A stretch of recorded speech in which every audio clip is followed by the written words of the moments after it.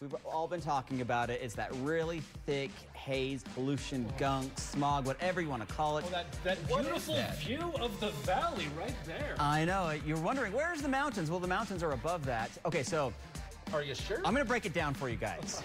what you're seeing is fog. There's also pollution in that fog, so we call that smog. Uh, basically, what we're having because we live in a big bowl is a temperature inversion.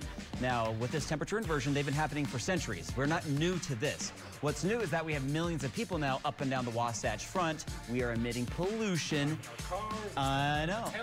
Everything. staying in the air. And so it's staying in the air. There's nowhere for it to go. It is trapped. So it is warmer in the mountains. I believe Park City made it to about 50 degrees today. It was a beautiful day. My wife works in Park City. She goes, it was lovely. maybe Down here in Salt Lake, yeah, it's 30 degrees. It's gross. It's yucky. It's smoggy. Our air quality is unhealthy for sensitive groups. So we talk about sensitive groups, you know, children, elderly, folks with respiratory issues, uh, pregnant women. Uh, we got to reduce how much time you are outdoors. It really is like smoking a cigarette or two, just being out in this gunk.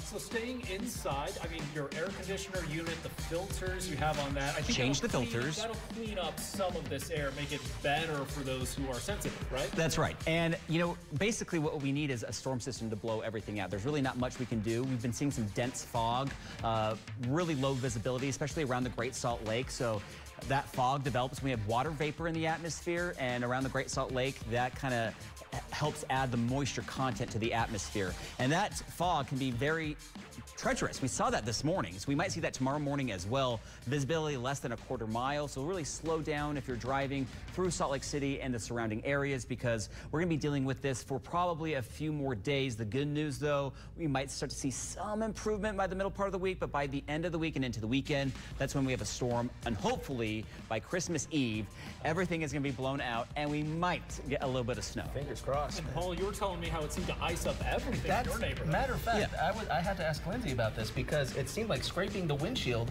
was harder today than it was in was You in probably have a little bit more ice, more ice, because you've had that fog and it's below freezing. It's below 32 degrees. So if you are fully saturated, you're getting these layers of glaze, if you will, on your vehicle. And sometimes that can also stick to bridges and overpasses, and it's even dangerous. Glazed Camry, glazed bridge and overpass. There you go. And not the glaze that you slick. want. Yeah. you I was about to say it's that. not the shiny glaze. It's not the shiny, It's a it's not the dirty glaze. Krispy Kreme, no.